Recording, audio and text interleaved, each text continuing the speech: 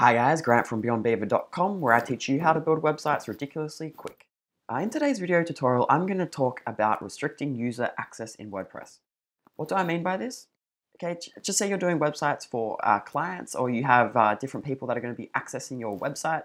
You're going to be the administrator because it's your website, but you want to restrict everyone else that's accessing that website, you know, so they can't break things, they can't install plugins, they can't change the theme accidentally, all that sort of stuff. So what I generally do for my clients, uh, for my web agency, is I'm an administrator user role. I set them up as an editor user role, and then I go in and I do two different things. Uh, I manage the capabilities for the editor user role, so I might add or remove them so that the dashboard changes and restricts the editor's user role so my clients access to certain parts of the website. And then for every screen that they see, I might actually restrict what's on that screen. So there's two different things, restricting what areas of the website they can access and then the second is restricting what's on those pages, okay? And to do that, we're gonna use two different plugins. And I'm gonna show you exactly how you can do this very, very quickly. And even better is once you've done it, you can export them and re-import them to different websites and you're gonna have the same settings throughout. So to show you guys today, this is a website that I've just finished for a client and it's an e-commerce one and it runs on uh, WooCommerce and it's using the Beaver Builder page builder, which is a great page builder. If you guys have never tried it, check it out. I'll put the link in the description below uh, to the demo. Highly recommend it. Highly recommend it for laying out your content. So that's it now. So the client's happy with it. I'm going to hand it over to her so she can start adding her content. But what I first need to do is I need to do those two things. I need to restrict what areas of the website they, that she can access, and then I need to restrict what's on those pages so she doesn't get confused and, and start clicking everywhere.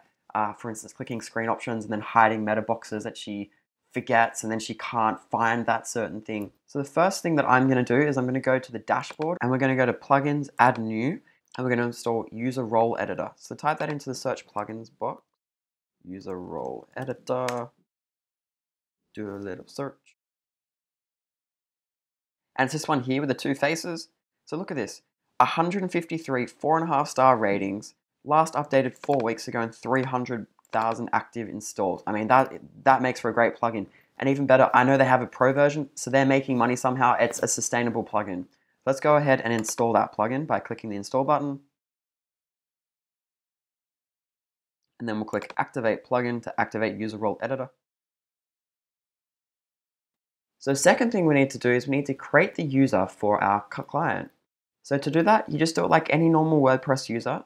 Under users, add new, put in a username. So I'm just going to use dummy details here, but um, I've already created her, so my client as a user.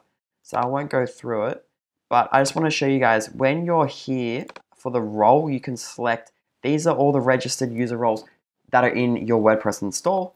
Uh, and for me, I use editor for my clients. That's one under admin because I want to give my, my clients the ability to change WordPress as much as possible without breaking things and the editor user role, which is one under administrator, seems to be a great balance between what they can do and also the restriction. So create the user, give them the editor user role and click add new user. Okay, so once you've created the user, what I do is I open up a new browser in incognito or private browsing and then I log in as my client. So what that means is I'm logged in as an administrator on one side of the screen, administrator being me, and on the other side I'm logged in as my customer, which has the editor user role. So by using incognito or private browsing, you can actually log in as two different users in the same browser. So let's go ahead and do that. So what I'll do, I'll get up an incognito browser and I'll log in as my customer. So I'll just pause the video. Okay, so I've successfully logged in as my client. So on the left, we're logged in as an admin, which is me, the administrator, user role. And then on the right hand side, we're logged in as my client, which is the editor user role. So what we're going to want to do is we're going to want to first change her capabilities so we can sort of see a few more things on the menu here.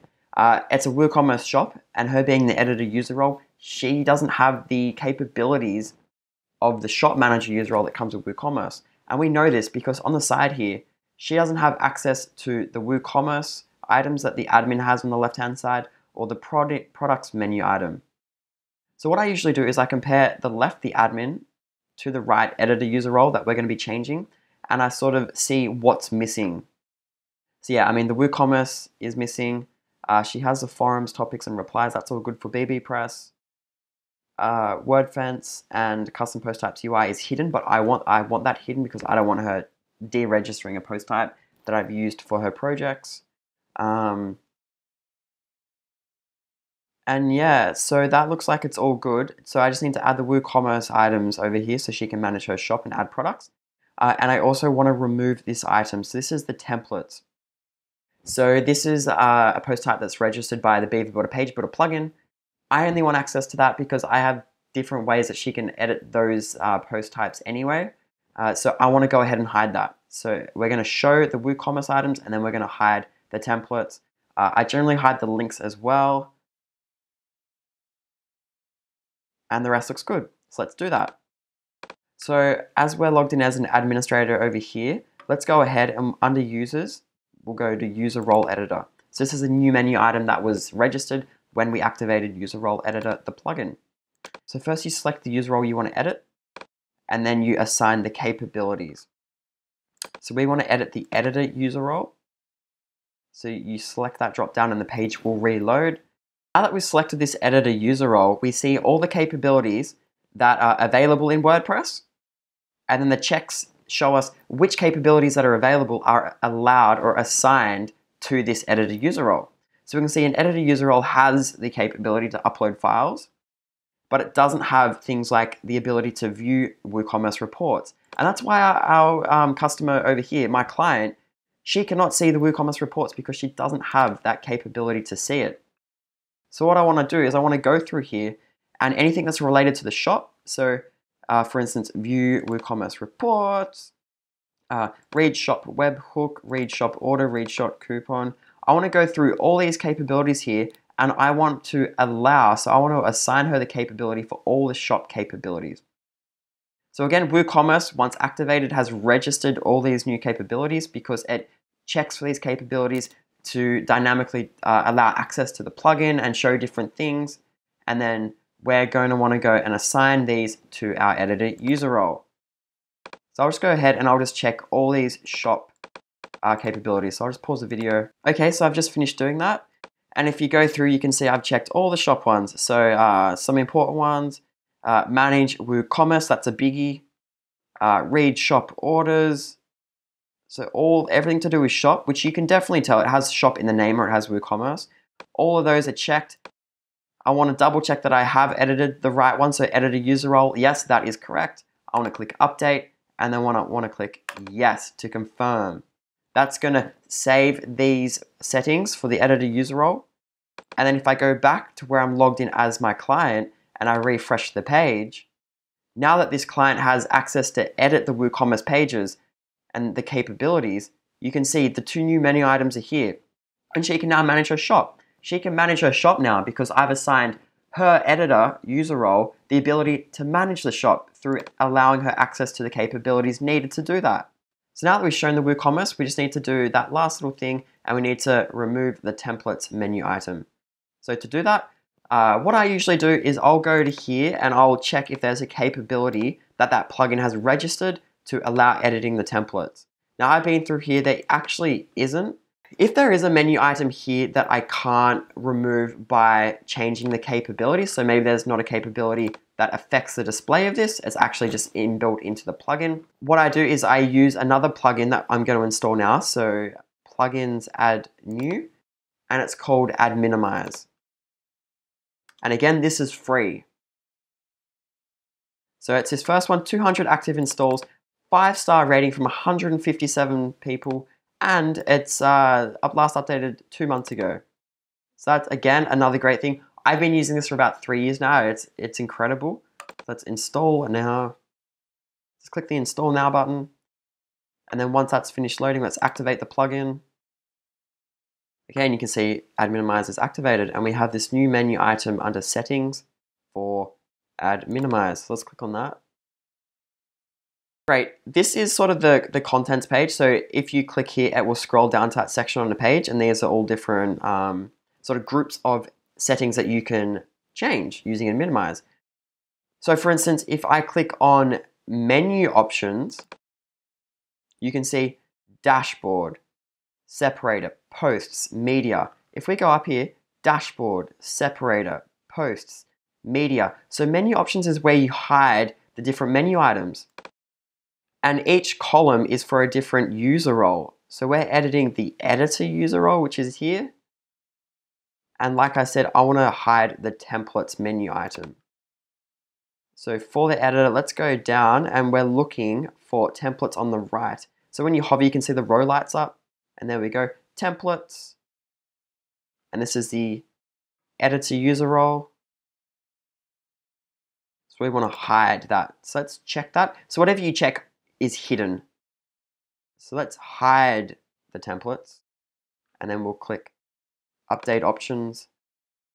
And then when that page saves, refresh, keep an eye on this templates item here, and it's gone. So also we want to hide this links item. So let's click back to the menu options, editor user role, let's scroll down to links and we'll check that. So if you check one of these uh, red boxes, so see here the menu item links, it has the sub menu items underneath, so you can just hide sub menu items or you can click this parent here and it will hide everything. So let's click to hide everything under the links menu item and click update options. When that page saves, we're going to refresh over here. Keep an eye on the links and it's gone. So you can see we're hiding things that our clients and cu our customers don't need to make their lives easier. They ask less questions. Everyone's happy. And I'll just show you a couple of the other things that Adminimize is good for. Um, so say you want to, on the dashboard, you want to hide this quick draft. Okay, so you could go up to screen options and you could hide the quick draft. You know, less is more. They probably don't use quick draft. I've never used it. So back in Adminimize under dashboard options, if you click on that, you get all the meta boxes that are registered on the dashboard. So advanced responsive video embedder, at a glance activity, Yoast, all these sort of things. So let's just say we want to hide the quick draft. What we could do is we go into here and I know it's no title because you can see the, the um, ID there is dashboard quick press. For the editor, let's just go and we'll click no title. We'll update the options. We'll come back to here and we'll refresh the page. And notice quick draft over here gets hidden. Also, WordPress news. Maybe you don't want your people knowing that, um, you know, there's been a flaw in uh, WordPress or something because then they ask questions, or these are linking to third party websites which might compromise the information that you're supplying your customers because you want to be the source of knowledge. So again, Adminimize dashboard options, WordPress news, editor user role, click to hide, update options, go back to here and we'll click refresh. And now it's hidden again. So again, you're trying to make WordPress as easy to use for your clients one, so they're not overwhelmed and they, you know, they build confidence in the system. They build confidence in using their website, which makes it more likely to be more successful, and you get less support tickets. And just to show, Adminimize, we, hide, we hid those two boxes. If we go to screen options, they're actually removed from over here. So it's not just a, a little hack, like it's actually doing what it's supposed to do. And that's why I really, really like Adminimize uh, and User Role Editor as well. And lastly, just, you know, you're handling the website, you're in charge of updating, you probably want to hide this notice here, WordPress 4.6 is available. When I wasn't hiding this, I got emails and they're like, you know, oh, is my website up to date? Oh, should I click on that? I don't know if I should click on that.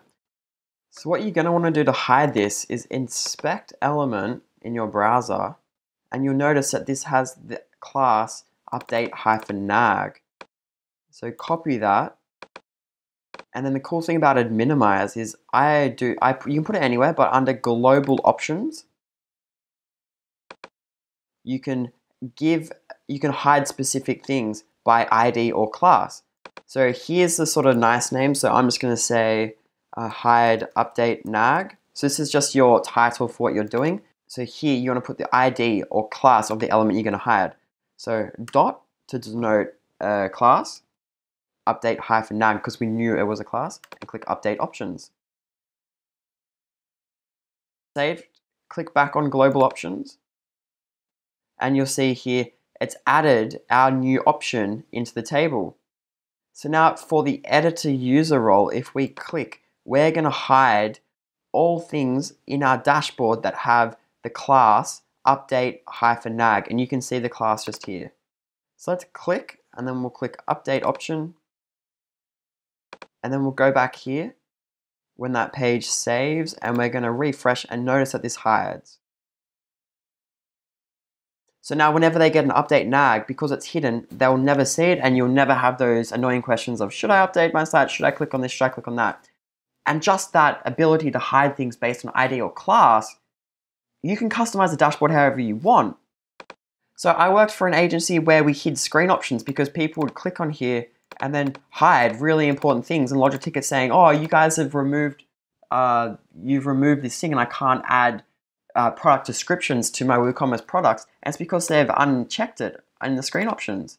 So for a lot of our clients, we would set them up. So we'd log in as them and set up the screen options, and then we'd literally right click, inspect element, get this screen options ID, which is here. So uh, ID equals screen hyphen options hyphen link hyphen wrap, and then we would put that in there into our um, global options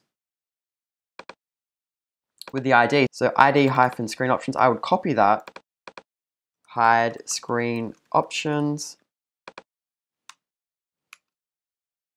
and so I would do that. So a hash to denote an ID, I'll click update options, that would show down here, and we would check that and save, and then this whole tab wouldn't show for them. But I've also noticed that um, Adminimize has actually added that now by default, so you can see here. So a good way to check is when you are about to hide something, copy and paste the ID or the class name into Adminimize and do a command or a control F to find that and then it might come up. So see here, it's found that ID. So it's a built-in uh, setting that you can minimize using Adminimize. and so we would check it for the editor and then that would hide it. And now that's just for a post, so right options post. So again, if we do a control F, it's there for page. So you could hide this on a per post uh, post type being you could hide the screen options tab up here for posts but show it for pages um, or you could just go up to the global options and add it and then hide it everywhere on every page. So guys, I've shown you exactly how you can restrict the user access in WordPress uh, for any of your needs. Uh, be it if you're having someone log into your website and you want to stop them from uh, doing certain things, um, or you know if you're building websites for other people and you want to limit to what they can change. And just to re-emphasize that you want to first use user role editor to add or remove capabilities because that can change the menu items and access to certain things. And then once you've got all the capabilities sorted out, then install Adminimize and start hiding and removing menu items and stuff. Because you don't want to install Adminimize first and hide things that could be hidden with a capability because then you're hiding it twice and it's just a bit redundant. So use the role editor to add or remove capabilities Adminimize to clean up the pages that your customer can see. That's it for today's tutorial. Uh, in the comments box below on YouTube, don't forget to read all the different links that I put in there. They're very helpful. Uh, and subscribe to us on YouTube, follow us on Twitter, like us on Facebook. Join our mailing list on beyondbeaver.com so you can start building better websites ridiculously fast. Until our next video, stay safe and keep learning.